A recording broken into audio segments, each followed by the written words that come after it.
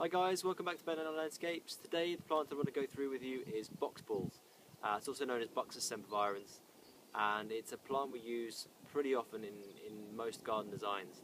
It's um, mainly used for its evergreen structure and for its just ability to give a bit of shape to borders when perennials and annuals and things have been cut down. So um, in terms of design it's just a, it's really just used for topiary and shape. Um, there's not really too much in terms of colour with it, it's really just to give you some foliage through the winter. And um, planting it is it's kind of goes with most soils. I mean, it's, it's pretty tolerant of chalky soils, acid soils. Uh, as long as it's not too dry and not too moist, then you know you're pretty much good to go with this plant. Maintenance is, a, is the most important part of it. So what you need to do with box balls is to just feed twice a year. So feed late spring when the first bit of new growth has come up from that, you know, that first bit of growth in the early spring. Uh, clip it to a tight shape.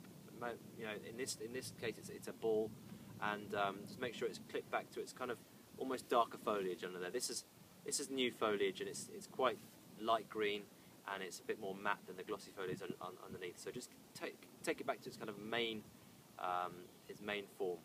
And um, in terms of feeding it, feed it again once or twice, you know, twice through the growing season, just to keep that, uh, that, that new growth coming through and thickening out from the inside out.